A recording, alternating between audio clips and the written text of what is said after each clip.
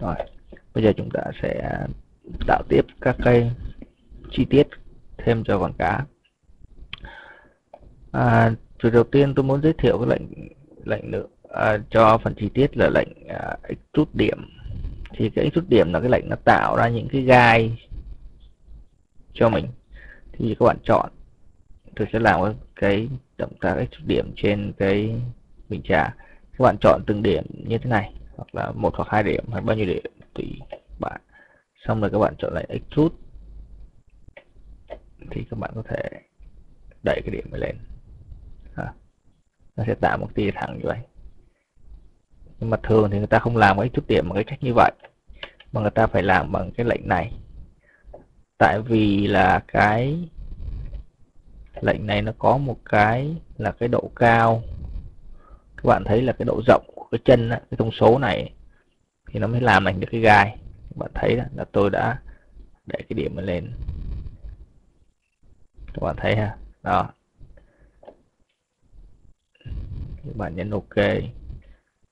Các bạn có thể chút điều khiển cái mức độ tu hay là dài cao bằng những thông hai thông số này thì với, quay lại với con cá thì tôi sẽ làm động tác y như vậy, nhưng mà tôi chọn ba cái xương, ba cái này. Cho nên tôi tạo ba cái gai cho con cá. Thì tôi sẽ chọn lại cái extrude cao khoảng chừng cỡ này, cái xương. Tôi sẽ nhìn trên đây để tôi quyết định là cái chân nó ra cỡ bao nhiêu. Đấy. khoảng cỡ này thì vừa. Ok. Nhấn ok ha thì nhưng mà chúng ta nhìn thấy là nó sẽ lên cái hướng không phải là hướng vuông góc nó bị xéo ra thì chúng ta phải chỉnh lại những điểm này. Thì các bạn cho trục này về không bằng cách kích chuột phải vào cái spinner này nè thì tự động những này nó sẽ về không. Ok. Thì giờ cái cá nó sẽ nằm như thế này. À, tôi muốn cái gai ở đầu nó nhìn nó co hơn cao hơn và dài hơn thì tôi sẽ kéo xích lên và dùng cái động tác connect cạnh giống như tôi làm hồi nãy connect và lôi cho nó cong cong một chút. À, chọn F3 để tôi có thể thấy được cái cái cái đầu kia ở dưới để tôi chỉnh sửa nó dễ dàng hơn.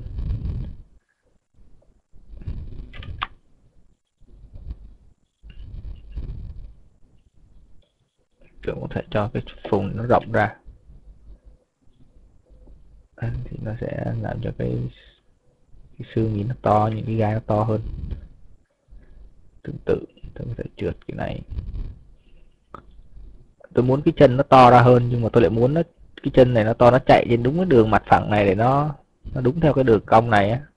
Thì bây giờ tôi sẽ giới thiệu với bạn một cái chức năng mới của Dispoly là cái chức năng gọi là constraint có là bó buộc cái di chuyển của những cái điểm, những cái đường hay những cái cạnh trên một cái hoặc là mặt hoặc là hướng vector pháp tuyến thì ví dụ trong trường hợp này tôi vừa mới đề cập đến chuyện là tôi muốn cái điểm này chạy trên cái cạnh này về phía sau nhưng mà tôi kéo ngang thì nó sẽ chạy sai đi mất thì nếu tôi muốn nó cạnh thì tôi sẽ làm cái động tác là tôi chọn là constraint by edge có nghĩa là buộc bị bó buộc vào cạnh à.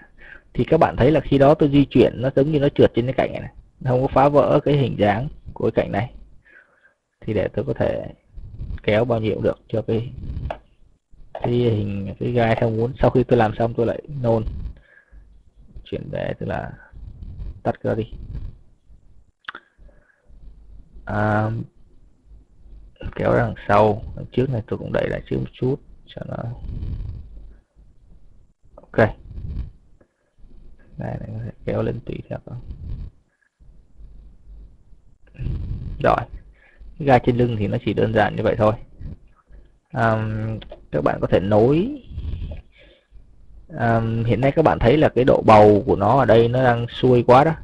Thì chúng ta muốn tạo một cái độ dài theo cái hướng hướng này giống như là cái cái ờ, cái, cái miếng nó dẹp hơn thì chúng ta sẽ nối những cái tạo những cái cạnh từ bên này sang bên này. Thì chúng ta sẽ tiếp xúc với một cái lệnh nữa. Là lệnh connect điểm. Thì connect cạnh thì chúng ta biết rồi, nó sinh ra cạnh mới, còn connect điểm thì sinh ra một cái cạnh mới nữa giữa hai điểm. Thì các bạn chọn hai điểm này, các bạn nhấn nút connect, thì tự động nó sẽ sinh ra một cái cạnh đây. Thì lập tức các bạn thấy là nó sẽ dẹp cái này lại. Tương tự, các bạn chọn ba điểm này, các bạn chọn connect. Thì các bạn thấy là nó tự động nó sẽ sinh lại cái polygon ở dưới và làm cho cái này nó dẹp hơn ở đây. Thì đó là những cái chúng ta mong muốn ha. À, rồi. Bây giờ đến cái phần cái vây cá ở dưới bụng. Thì chúng ta sẽ làm như sau. Chúng ta sẽ dùng một cái lệnh mới là lệnh inset để sinh ra một cái mặt ở trong. Thì mình sẽ giới thiệu lệnh inset cho các bạn. Inset của mặt là cái lệnh là như thế này. Các bạn chọn chẳng hạn như các bạn chọn hai mặt này. Các bạn chọn cái lệnh insert ở đây. Thì khi đó cái thao tác drag chuột của bạn sẽ nó sẽ làm cho cái mặt này nó có sinh ra một cái mặt mới nó co ở trong cái vùng chọn mà bạn đã chọn ha. Các bạn à, cũng có thể chọn những cái à, mặt và dùng cái thông số này để chọn để xác định cái số cái mức độ bao nhiêu. Ha, hoặc là by polygon là từng mặt một hay là by group là cả hai mặt. Thì, ok. Thì chúng ta quay lại cái chỗ, con cá chúng ta chúng ta muốn chọn là phía dưới này á. Chúng ta sẽ sinh ra một cái màng cá chạy đây. Thì tôi sẽ dùng cái lệnh insert nhỏ lại, khoảng chừng nhiêu đây? Tôi muốn nó sạch dẹp lại thì tôi lại chọn qua chế độ điểm và chọn lại cái lệnh hồi nãy là constraint by edge. Tôi trượt cái điểm này lên cái cạnh để đến khoảng chừng vị trí muốn mà cá chạy ra đây thì vi cá cái vây cá chạy ra đây thì tôi chọn như vậy. Khoảng chừng dẹp khoảng chừng cửa này.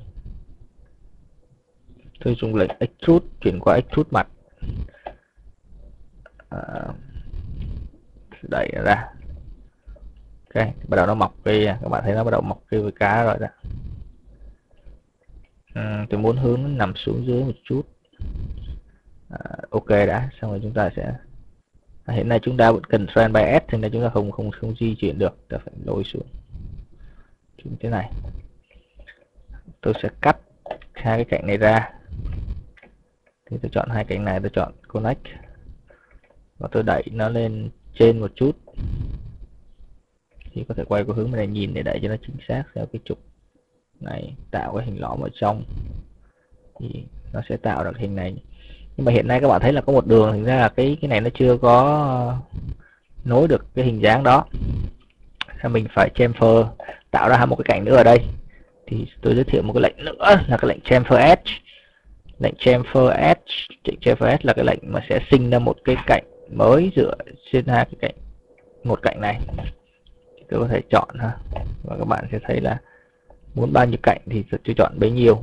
Nhưng mà chúng ta sẽ chọn là hai thôi chẳng hạn và cái khoảng cách giữa hai cái đường này là bao nhiêu?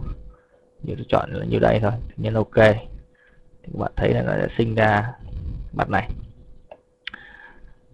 À, nhưng mà hiện nay nó sẽ nối điểm sai. Điểm này nó bị nối xuống đây thì không đúng. Nhưng nay chúng ta phải nối điểm lại. Thì có chọn chọn điểm các bạn chọn connect. Bạn chọn điểm này chọn connect.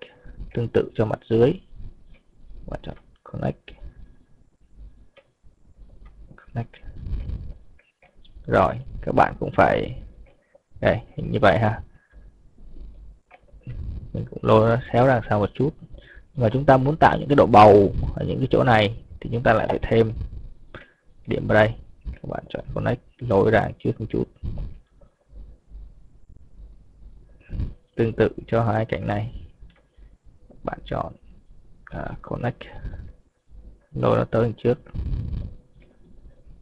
Các bạn có thể trượt theo cạnh tiếp tục trượt theo cạnh để đưa cái đường này nó xích lên trên. Và tắt tỉ lại kéo nó xuống. Kéo nó như này. Um, cái đầu này nó chưa được nhọn lắm vì là chúng ta chưa có đủ cái segment ở phía đầu này thì nó tôi lại làm cái lệnh chamfer s lại một lần nữa. Chọn hai cái s này tôi chọn chamfer edge có cái amount tăng lên một chút thì các bạn sẽ thấy là tự động nó sẽ nhọn cái đầu này. Nó cho phép tôi điều khiển cái đầu này nhiều hơn.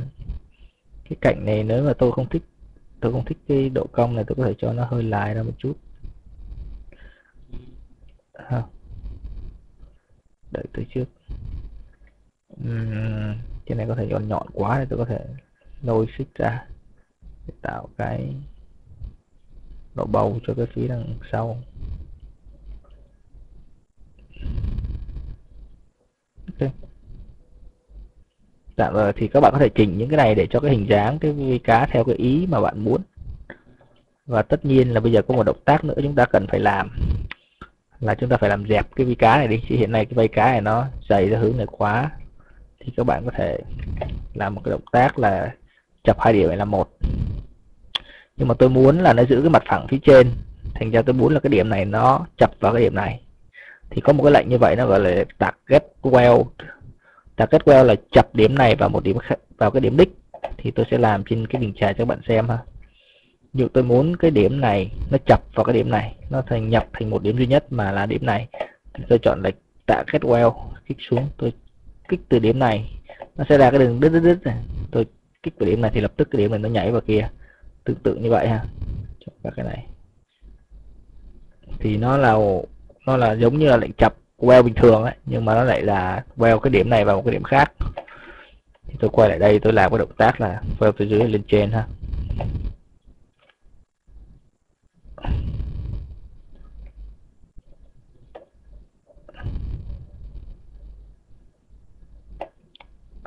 Chúng ta sẽ um, tiếp tục nhìn xem lên trên uh, trên này xem là cái cái hành vi cái như vậy là tạm chấp nhận được ổn ha. Chúng ta sẽ dùng cái nếu các bạn muốn cho nó to ra hay nó dài ra thì các bạn sẽ kéo cái điểm này xuống nữa. À, các bạn có thể nhìn thấy đây xem các bạn muốn ờ, dài hay to ngang hay là gì thì tùy theo cái thích của mình ha. Tương tự cho cái mũi phía bên này.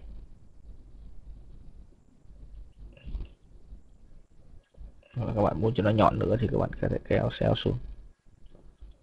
Ok. Um,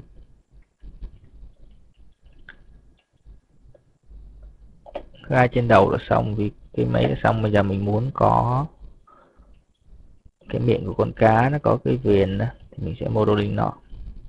Thì chúng ta lại dùng cái lệnh.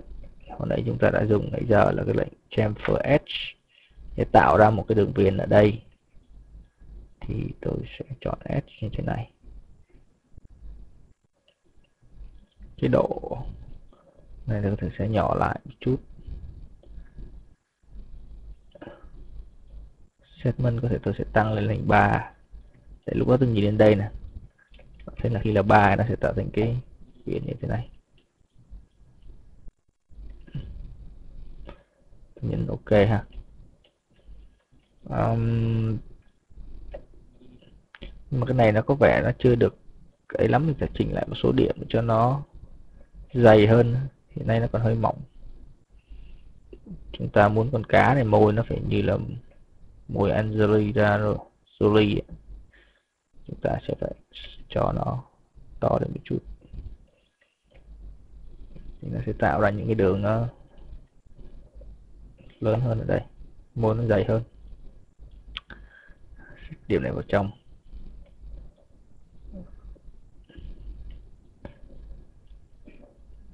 bạn thấy là hiện nay nó cũng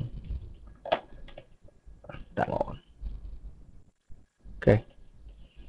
Nếu mà chúng ta muốn nó có một cái ngấn thật sự ở chỗ này thì chúng ta lại phải thêm một đường nữa.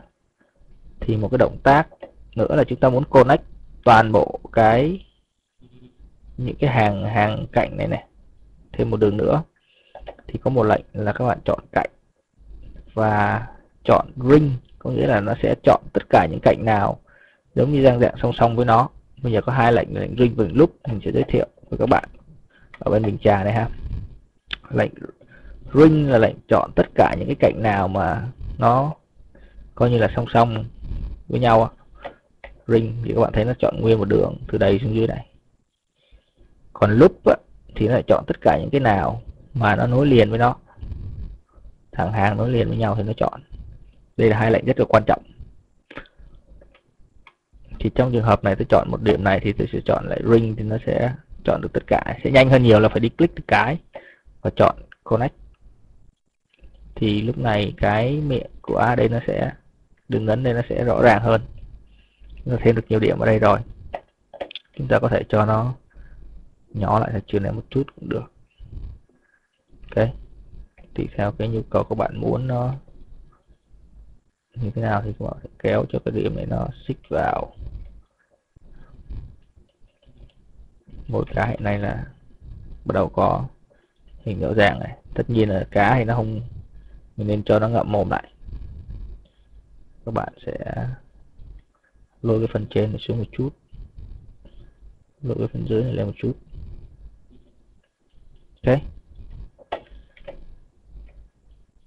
Các bạn cũng có thể là làm cho cái miệng nó giữa nó cao lên. Tại cá thì nó có xu hướng miệng nó xuống hai bên như thế này. À, tôi phải quay xem tôi chọn đúng số điểm. Không thường khi những động tác tôi chọn điểm mà tôi không biết là tôi chắc ăn là tôi chọn bao nhiêu điểm sợ nó có ăn ra phía đằng sau đuôi cá không? Những di chuyển đây thì tôi thường là tôi chọn xong tôi quay quay như này tôi nhìn xem có thật sự là tôi chọn đúng bao nhiêu đó thôi. Ok. Hoặc là các bạn có thể nhấn F3 để kiểm soát. Tùy theo các bạn. Ờ, ok. Thì à, con cá của chúng ta hiện nay miệng nó như thế này.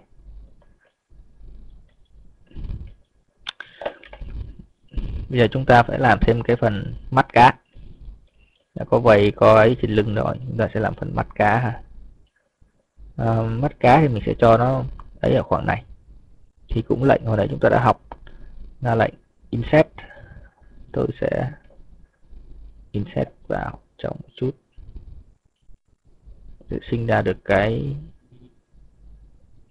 mắt cá ở vị trí này hay nhưng mà tôi muốn cho nó thành hình lục giác cơ. Sợ ở đây cơ. Hiện nay nó có bốn à. Thì tôi sẽ di chuyển cái điểm mà theo cạnh đã. Để xích cho nó xích lên phía trên đã mắt cá tôi cho nó nằm ở khoảng vị trên này. To khoảng chừng này.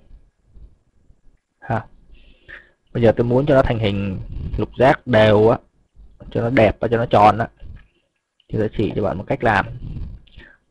Mình sẽ tạo một cái cylinder sáu cạnh để mình theo đó mình canh. Mình tạo một cái cylinder ha. Nhưng mà nhớ các bạn bật cái chức năng auto grid này lên. Để khi mình tạo cylinder nó nằm ngay ở cái vị trí này nè các bạn bật auto width thì nó tạo đâu nó sẽ tạo ngay ở vị trí này. Thì các bạn nhắm chừng nó khoảng chừng nhiêu đây các bạn độ dày không quan trọng. Rồi các bạn chỉnh số size là 6 thôi. À, các bạn chỉnh cái à, một set segment là một thôi. Mình sẽ dựa trên cái này mình đưa cái điểm kia qua đây.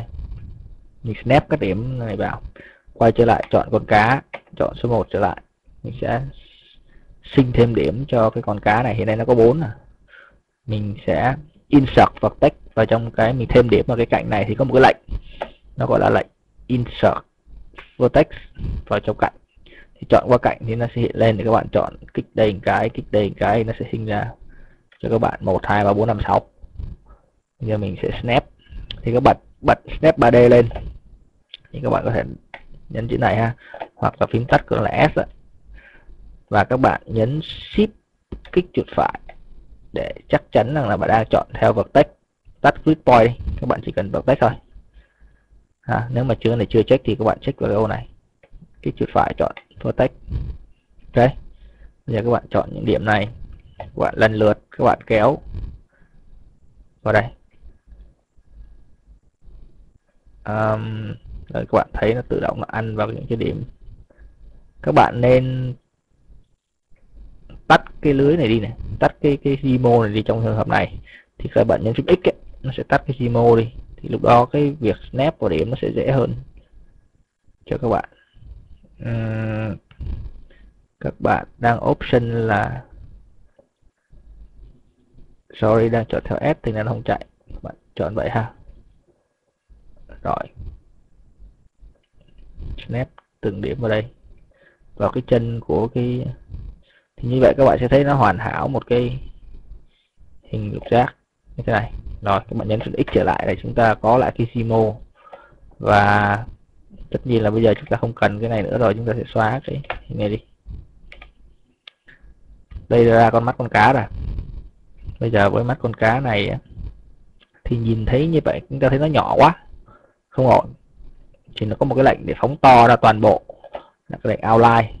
Thì các bạn có thể cái, cái nút này để outline ra bao nhiêu thì tùy các bạn. Outline là phóng lớn lên ha. To cái mắt là việc cỡ này đi. Ok được rồi. Bạn nhấn ok ha. Giờ mình sẽ sinh ra cái g cho con mắt này. Thì chúng ta lại dùng lại insert chúng ta làm ra một cái g nhỏ, nhỏ như vậy. Bạn nhấn ba để nhìn cho nó dễ. Ba bốn lại ha. Rồi. Bạn nhấn ok. Các bạn chọn cái khu vực này các bạn extrude nó lên. Thì à, các bạn có thể chọn cạnh, chọn ring.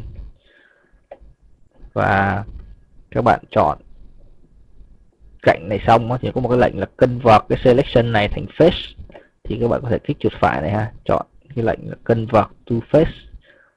Thì khi đó nó sẽ chuyển những cái gì bạn đang chọn sang dạng dạng mà dạng từ cạnh chuyển thành sang mặt thì nó sẽ giúp chúng mình à, extrude cho chính xác những cái cạnh vợ xung quanh cái mắt ạ. Mình sẽ nhìn lên trên này xem là ok nó sẽ tạo ra cái g như này ha. Ok thế là ổn này nhấn ok. Um, có thể lôi cái này xích vào trong một chút thì mình không cần nó nằm cao như vậy.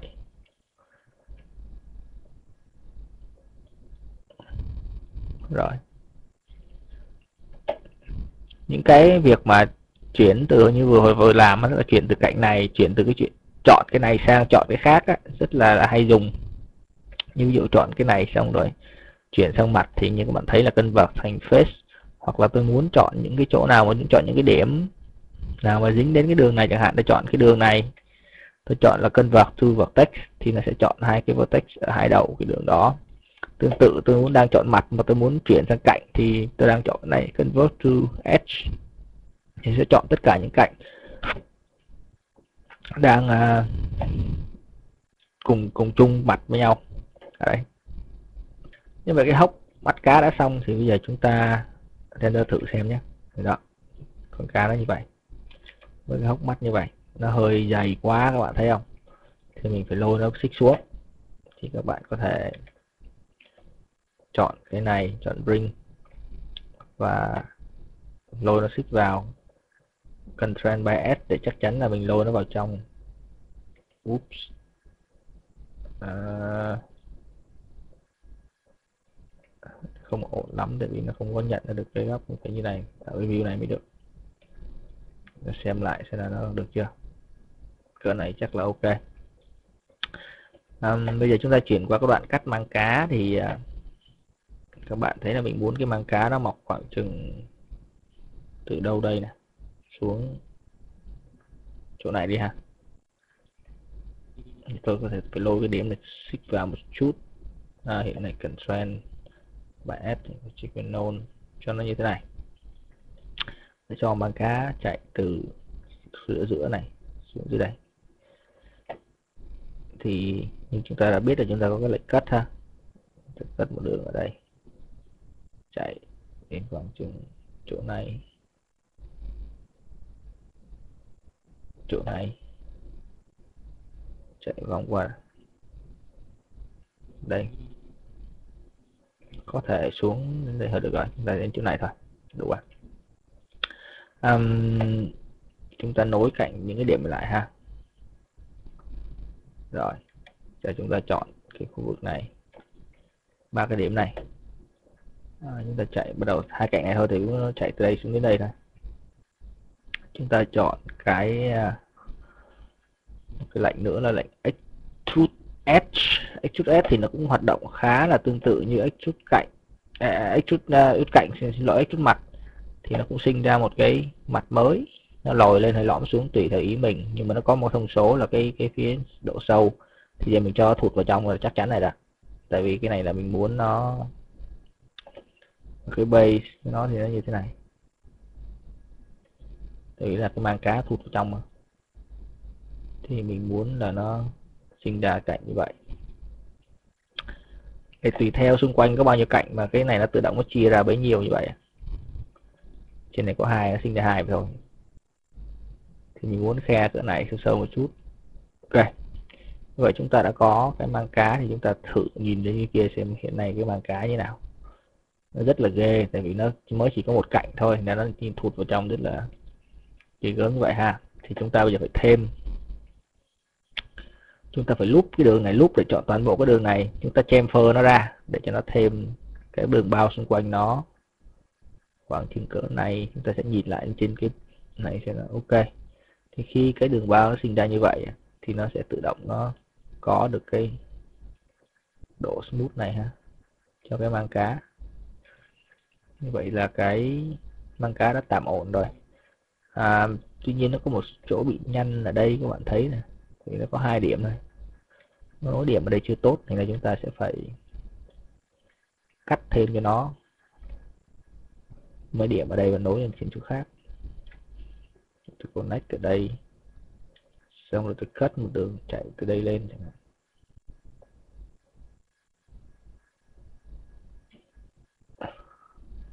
Thì khi đó cái chỗ này nó sẽ trơn tru hơn. Bạn thấy không bị nhăn đen như này nữa. Thì à, cái mang cá như vậy là ổn. Um, dưới này có thể những khi mà sinh ra điểm như vậy thì các bạn thấy là cái này nó bị thừa rồi. Mình không cần cái chỗ này nữa. Thì mình sẽ đặt get well tức là chập điểm cái điểm này vào đây. Thì tôi sẽ chọn đặt get well tôi nối từ đây xuống chỗ này.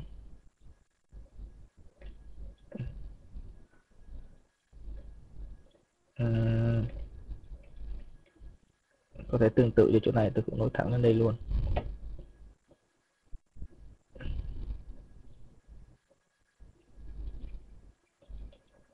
Coi là hình bằng cá hay thế nào.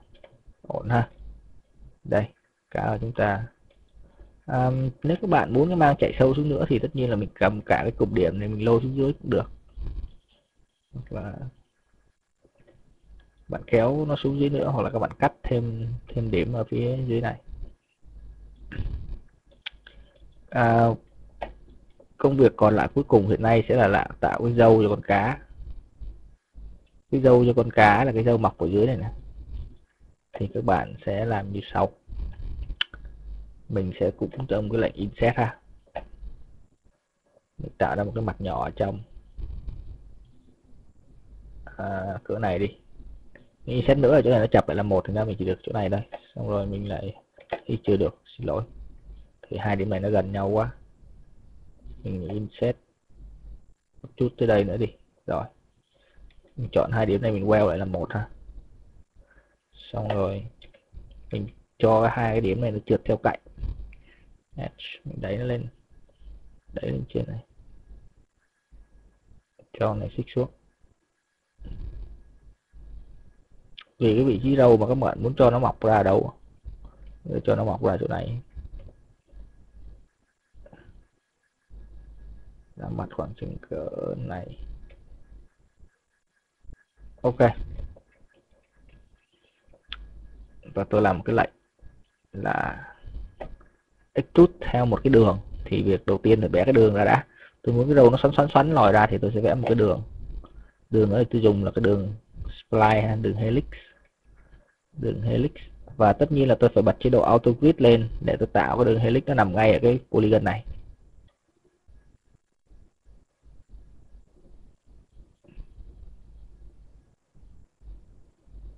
Ok. Thì các bạn đã xong cái à, cái đường các bạn thấy tạo ra nó nằm ở đâu khoảng con này nè. Các bạn có thể move lại đây một chút để canh cho nó dễ thôi.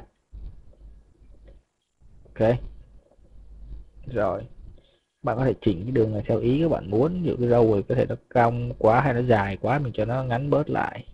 Cái số vòng là bao nhiêu vòng tùy theo các bạn muốn. Um, cái bán kính nó nhỏ lại hay to ra tùy theo ý các bạn. Các bạn có thể rotate nó nằm xích xuống một tí. Này. Rồi. Giờ các bạn chọn face. Các bạn chọn cái mặt này. Và các bạn dùng cái lệnh là extrude along spline. Đây là cái lệnh này ha. Thì các bạn kích vào cái ô này, thì các bạn sẽ chọn cái nút đầu tiên là pick spline, là pick cái đường này. Thì khi các bạn click cái thì các bạn thấy lập tức nó sẽ lòi ra cái dầu và trên cái mesh smooth thì các bạn thấy cái đầu nó mọc ra như này, rất là hay. Nhưng mà như thế chưa đủ đâu, mình phải chỉnh một số cái.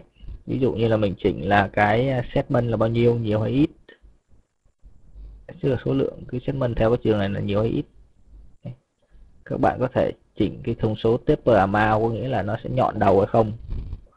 Hoặc là cái chép cơ này như này, hoặc là cái twist ra nó xoắn bao nhiêu lần.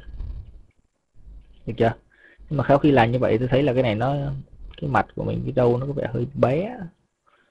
Cái chân nó hơi bé đó. Là tôi sẽ cancel nó, tôi cho cái mặt này nó to lên một chút nữa đã tôi sẽ scale nó lên. Ok. Vẫn là cái chức năng Ctrl và S thì là tôi scale nó vẫn nằm trượt trên cái mặt phẳng này thôi. Và bây giờ tôi sẽ làm lại cái động tác hồi nãy là động tác uh, extrude along spline thì bây giờ các bạn thấy là cái dâu nó to hơn nhưng mà tôi sẽ chạy taper nhiều lên để cho cái đầu nó nhỏ lại. Cái chân thì nó to nhưng mà cái gốc của cái dâu to này ok.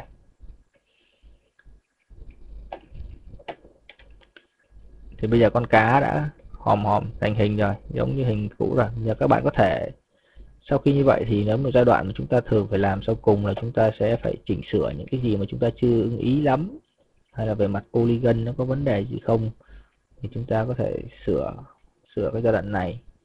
Các bạn muốn cho nó có hay hơn thì connect thêm ở đây để cái đầu cái này nó dài hơn, nhìn nó dữ dằn hơn chẳng hạn à, đang cần Ctrl 3S thì tắt đi để chúng ta có thể scale được.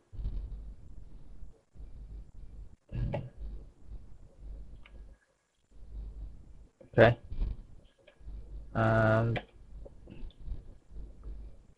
lỗi cho nó cái này. Để có thể xích lên một chút. Tương tự. Uhm, xem còn gì phải sửa con cá này không? Ví dụ như là dưới bụng mà các bạn cảm thấy là nó chưa ổn ở điểm nào thì các bạn cũng có thể là, kiểu, nó mập quá hay ốm quá thì các bạn có thể chỉnh được những cái điểm như vậy. Những phía đuôi mình không thích nó mập như vậy mình cho nó ốm bớt lại. Các bạn thấy là nó, nhìn nó, con cá nó có thể nó hơn một cái trên đầu là hiện nay vì bị thêm vào đây nhiều điểm quá nó dẫn đến cái hiện tượng là nó bị u ở chỗ này. Thì có thể mình phải cho nó giảm xuống, giảm cái u này xuống à, thậm chí là bỏ cái cạnh này đi để nối điểm này trực tiếp từ đây sang đây cho nó đẹp. Oops. À, ờ. không cho phép nối lại. Tôi phải coi lại tại sao cái điểm này nó nằm ồ oh, xin lỗi. Điểm này hiện nay không nối đây được nó chỉ nối lên đây trước đã ok còn điểm này thì mới bỏ điểm này đi chắc hy vọng bây giờ nó sẽ cho nối thẳng như đây Lúc. Uhm.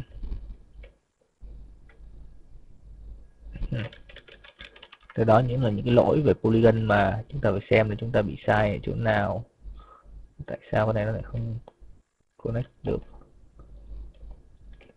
yeah để đây xem chúng ta có mấy điểm. Có thể đây là tại vì sinh ra nhiều điểm ở điểm này. Đây lý do là tại vì ở đây nó có hai điểm. Sinh ra hai điểm là sai thì ra mình phải well chỗ này lại. Thì chắc bây giờ mình sẽ bỏ cái cạnh này đi.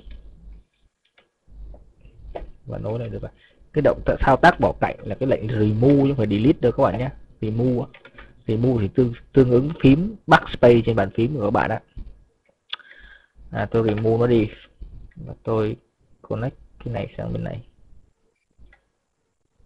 Tương tự thì connect cái mắt này sang phía bên này. À, ok. Có thể lúc này cái đầu nó sẽ cái lưới ở đây nó sẽ ấy hơn. Tuy nhiên cái u thì nó vẫn còn đó nhưng mình bỏ cái này đi. Backspace các bạn nhấn phím backspace thì để cho cái chỗ này nó hiện mại hơn ha. Um, cái u này nếu mà bây giờ mình phải chỉnh nó cho nó xích vào.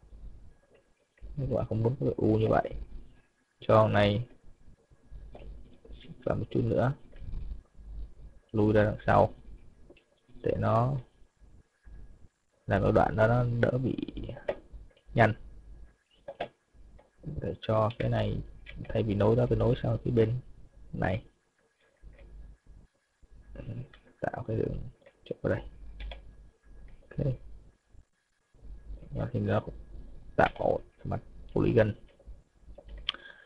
uhm, thực ra cách tốt hơn là nên cắt hẳn một đường chạy từ ngang từ đây sang đây.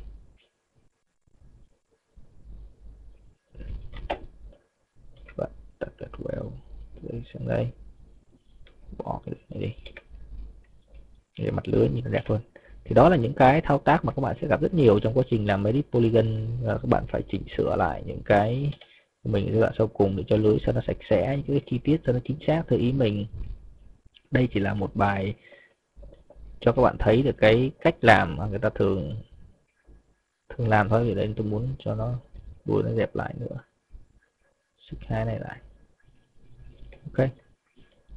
Như vậy là chúng ta đã hoàn tất cái việc xây dựng con cá này rồi, thì các bạn có thể chọn cái hình này. Xem lại các cái góc, các mọi chỗ và các bạn, động tác cuối cùng các bạn có là các bạn tăng cái số iteration này lên một chút xíu để cho con cá nó smooth hơn. Tạo thêm con mắt cho nó, thì các bạn có thể chọn chức năng là chọn hai cái hình cầu. Tất nhiên là auto shift vẫn bật. Các bạn tạo một hình cầu bên này sau bạn di chuyển sao cho nó vào đúng cái hốc mắt này? Tương tự các bạn copy một cái nữa sang phía bên đối diện. Ok. Lôi ra một chút một chút. Rồi. Sau đó các bạn con cá này xong rồi các bạn chỉ việc cân bạc nó thành edit poly. Hoặc là các bạn để nguyện được. Thì các bạn đã có một cái object hoàn hảo. Con cá hoàn hảo với hai con mắt nếu các bạn thích cái này nó hoàn toàn là thành một object duy nhất luôn á, thì nó có lệnh attach. Có nghĩa là biến hai cái object này thành con của thằng object này luôn. Nhưng mà thường thì con mắt chúng ta phải để rời. Để sau này chúng ta làm diễn hoạt hay cái gì đó thì chúng ta có thể rotate con mắt này, tạo cái nhìn. Như vậy là chúng ta đã xong cái bài này. Các bạn save lại ha. Để thành ra bài số, còn cả hai chẳng hạn hy vọng với bài này thì những cái thao tác cơ bản của Deep Polygon các bạn đã nắm được. Và các bạn cũng thấy quá trình được sử dụng nó để tạo ra một cái con cá cũng như cái kỹ thuật kỹ thuật um, xây dựng cái cái cái, cái uh, khi model tức là dùng cái mesh như thế nào rồi thêm một object uh, copy và object reference nữa là sao để nhìn giữa đó quan sát để tạo được cái kết quả cuối cùng. Uhm, chúc các bạn thành công có cái câu hỏi gì thì các bạn cứ việc uh, gửi lên học 3d.com comment các bạn.